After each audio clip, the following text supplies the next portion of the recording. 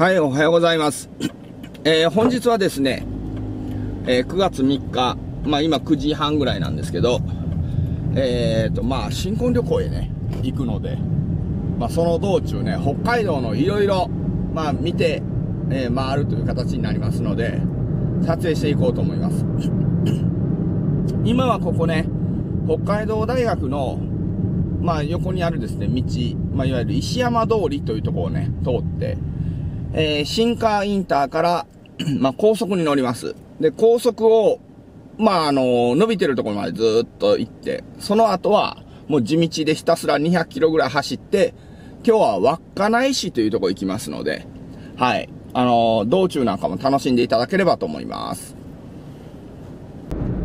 はい、えー、高速乗りましてですね、あのー今、札幌ジャンクションのところ向かってます。で、これは、あの左側へ行くとね、旭川江別の方に行くんで、まあ、江別っていうのはすぐなんですけど、まあ、旭川の方に行くと道なんですね。で普段まあ牧場とか行く時は函館函館とか行く時はこれ右側のを通るんですけど今回初めてですね、えー左側ねあの撮影していきたいと思います。はいえー、っとですね。江別というところまで、まあ、2キロのところですね。これまだこの辺を、ようやくね、江別市に入ったっていうぐらいですね。あの、札幌の上の方の、札幌市の上の方のね、市なんですね。まあ、隣接してる市で、まあ、そこに入りました。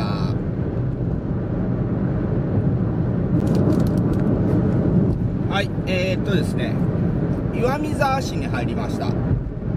この岩見沢市っていうのはね、まああの古いね、競馬ファンの方だったらご存知かもしれないですけど、昔は万栄競馬があったんです、岩見沢って。で、まあ亡くなってね、もう今やもう、ね、帯広しかありませんけど、昔はね、すぐ万栄競馬場があったというのが、まあこの岩見沢市ですね。で、雪がものすごく降るんですよね、ここ。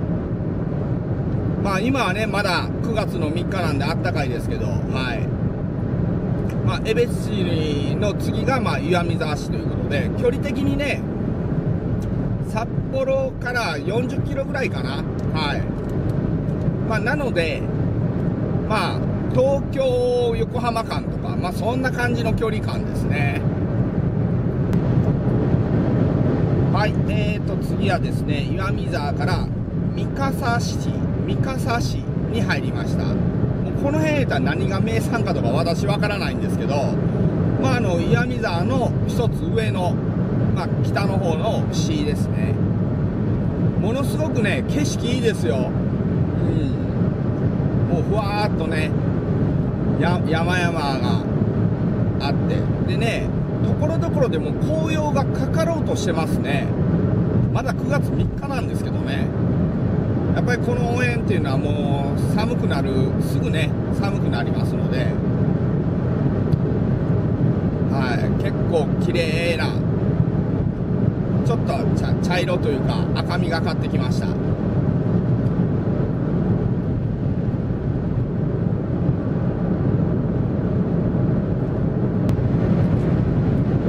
はい、えー、次はですね美唄市。まあ、さらに三笠市のさらに上ですね。美唄市といって美しいに歌と書きます、まあ、ここも何が名産かとか知らないですけどもうこっちのね地名ってまあアイヌ語がまあ基本になってますのでなかなかね読めない漢字多いですよ。はい。じゃあまだまだねあと目的地まで280キロありますのでね頑張って運転していきます。はい、えー、っとですね、今、内江町というところに入りました。ここはあのメロンの産地みたいですね。はい。で、まあ、内江町って私もほとんどわからないんですけど、まあ、メロンの産地みたいということで入って、まだまだ、あのーここは263キロ、目的地ね、稚内まで263キロの地点ですね。まあ、まだ旭川ですら、あと、7、80キロぐらいありますからね。はい。いやもうここまで来たらめっちゃのどかな街ですね。町や村ですね。はいえー、ここでですね砂川市まあ砂川市って言ったら結構有名ですよねあのー、なんかカーレースカーチェイサーみたいなことしてあの捕まったのもいましたよね危険運転のはい。これこの辺ですね砂川市は。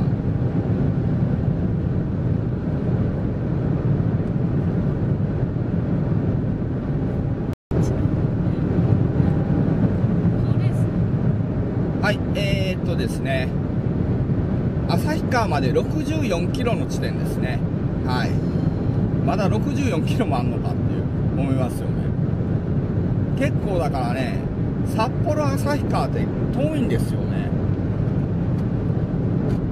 まあ、ちなみにですね札幌旭川に行ったとしてもまだ稚内のまで行くには半分行ってるか行ってないかぐらいですからね。はいこの先もねちょっとまあ運転ね走らせていきます。ああしかしすごい綺麗な景色だ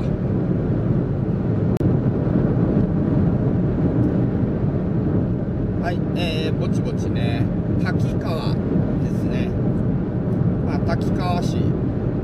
まあこの辺ね砂川とか滝川とか深川とかねあるんですけどまあほとんどはもう私には縁のない場所ですね、うん、まあ景色はねすごく綺麗ではい滝川市ねこれ入りました。なんかどこも飛行機かなんかの街っぽいですね。はいでは進めます。はい、えー、深川市に入りました。あ深川市が何があるのか知りませんけど。まあまああんまりというかほとんどこっち来ることないですからね。はい。でまあこの深川市にジャンクションがあるんですよね。でジャンクションはまあいわゆるまっすぐ行くと旭川行けますし左側に行くと留萌っていう漁港の町にまあ町というか漁港の市に行けるということですね。留萌はね最終日2日前に行きます。まっすぐ行こうかな思ったんですけど留萌の方からやっぱり稚内の方行ってみようということになりましてはいこちらから行ってみます。あ私こちらの道走るの初めてなんですよね。はい。ちょっと楽しみです。この先合流車両に注意してください。その先料金はい、えー、留萌の方向ね今あの料金所抜けてきたとこですけどめっちゃ景色 たまらんなこれ。まっすぐですし。見えますかこれ。やばいな。うわ初めて来るからねなんかちょっとテンション上がってきましたね。すごいわ。わいいなこれ。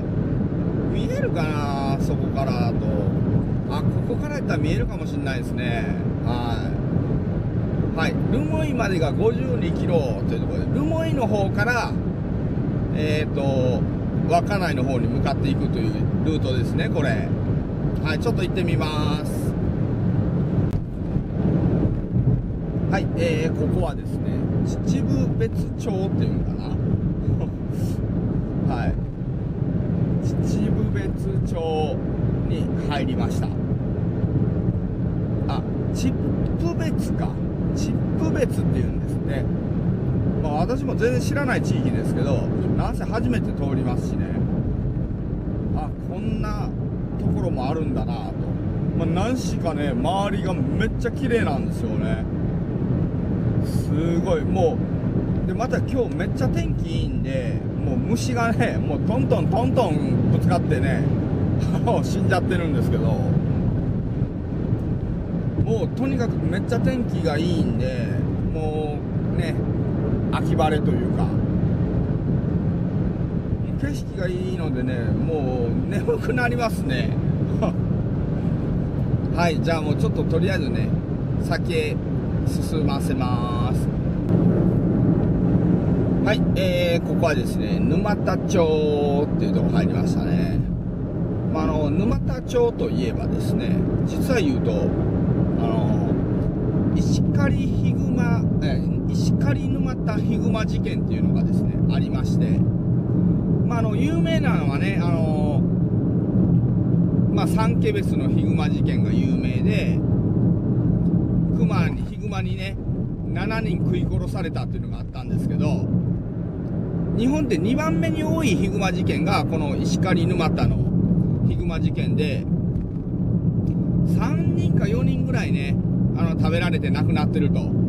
ヒグマにね、ヒグマに人間が食べられてですね、あの、亡くなってるという事件があるんですね。はい。まあ、あのこの前、つい最近ね、あのなんだったかな、変な生き物チャンネルさんでですね、あのこの石狩沼田のヒグマ事件の動画やってましたのでね、まあ、興味がある方はぜひね、見ていただければと思いますね。はい。概要欄にも貼っときます。はい、えー、沼田町の次はですね、えー、これなんだ？北竜町。全く知らない町です。はい。初めて聞いた町ですね。まあ、あの、北海道内にね、市や町ってもう、無数にあるんでね、何個ぐらいあるんだろう。相当あるよね、あれ。うん。4、500ぐらいあるのちゃうかな。そんなにはないです。そんなにはない？うん。まあ、相当数多いんで。はい。じゃあちょっとね、行ってみます。さあ、北竜町というのはひまわりの町だったらしいですね。ちょっと調べてもらいました。そして、北竜町の次は留萌市ですね。はい。留萌市といえばね、漁港の町で有名です。はい。これがまた美味しいものがいっぱいあるんですよね。まあ、留萌に滞在するのはね、最終日2日前なんで、今日はあの素通りしていきます。はい、では行ってみます。これめっちゃ綺麗ですよ。すごいね。うわあ、木々がものすごい、そろそろ赤みがかかってるって感じですね。そろそろね、これからもう一気に紅葉になっていくんだろうなと。これね、赤いよね。そのうん。いやー、すっごく綺麗。のどかでね、気持ちいいです。はい、えー、っとですね、目的地の稚内まで182キロです。ようやくね、半分ぐらい来たって感じですよね。まだ半分です。で、この恐ろしいのは、まあ半分はね、まあ高速道路があるんですけど、もう半分は全部地道ですからね。あと182キロ、これ全部地道で上がっていかないといけないんで、相当きついですね。はい、えー、ちょっとね、お腹が空きましたので、そろそろお昼ですのでね、ちょうど通りがかりにこう、ランチが、カフェランチがあったんでね、ここをね、ちょっと行ってみたいと思います。はい、えーと、こちらですね、カニの、えーパスタですね。ちょっと美味しそうなんでね。で、これ何した？えっ、と、アスパラガスあ、アスパラガスか。アスパラガスのジェノベーゼソースだったかな。ジェノアスパラガス、アスパラとバジルのあバジルバジルとジェノベーゼ。いや、美味しそうなんで。はい、いただきます。